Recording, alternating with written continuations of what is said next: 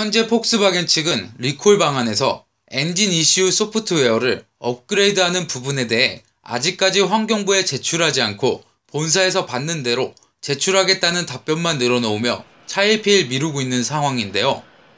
이와 관련해 법무법인 바르는 기자간담회를 개최하고 폭스바겐의 배출가스 스캔들과 관련해 정부가 폭스바겐으로부터 소프트웨어 분석을 위한 소스코드를 제출받지 못하면 이른바 뻥리콜을 막지 못할 것이라는 주장을 제기했습니다.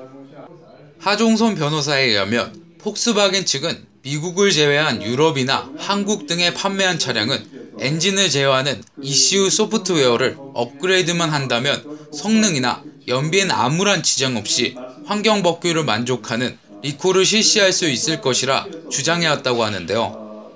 하지만 독일의 자동차 매거진 Auto Motor und Sport와 영국 조사기관이 폭스바겐 차량 중 가장 먼저 리콜 승인을 받은 픽업 트럭 아마록 차량 두 대를 합동 조사한 결과 놀랍게도 연비는 더 나빠졌고 질소산화물 배출은 그대로인 것으로 드러났다고 설명했습니다. 이에 따라 독일 당국은 소프트웨어를 업그레이드하는 즉 리콜을 전면 보류하고 철저한 검증에 들어간 상태라 하종선 변호사는 전했습니다. 하종선 변호사는 이와 같이 독일과 미국에서 문제가 됐기 때문에 더욱 철저한 검증이 필요하다며 소스 코드는 선택이 아닌 필수라고 피력했는데요. 이 문제는 어, 복스와겐이 제시한 리콜 방안이 과연 어, 법규 위반 상태를 100% 해결하는 것인가 이거에 대한 철저 검증이 필요합니다.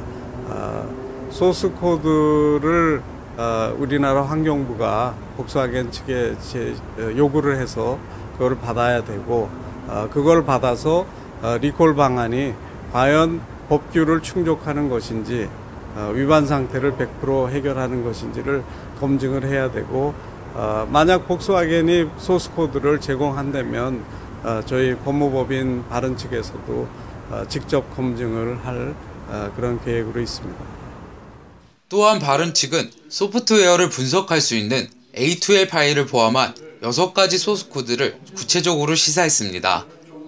그중 A2L 소스 코드는 소프트웨어가 어떻게 작동하는지를 파악할 수 있도록 하는 중요한 자료인 것을 강조했고 문제 차량들이 인증시험에서만 질소산화물 저감 장치를 동작시키는 것에 대해 밝혀낼 수 있다고 설명했습니다. 네, source code 분석이나 이제 분석 방법, 시험에 대한 부분들은 어, 한국 정부도 마찬가지지만 미국 EPA에서도 동일한 방법으로 진행을 하고 있을 걸로 예상 내지는 그런 정보를 저희가 접하고 있기 때문에 아마 시간의 문제로 생각이 되고 있고요. 어느 나라에서 먼저 시작하느냐, 내지는 그 결과를 먼저 가져가느냐가 이제 중요할 것으로 생각을 합니다.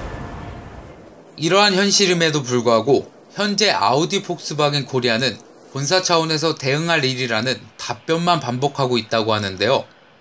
이런 현실을 뒤늦게 직시한 환경부가 미국 관계기관을 교섭하는 등 적극적인 대응에 나서고 있습니다.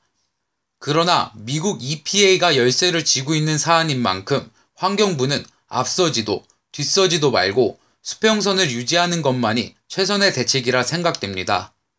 교통뉴스 김종영입니다.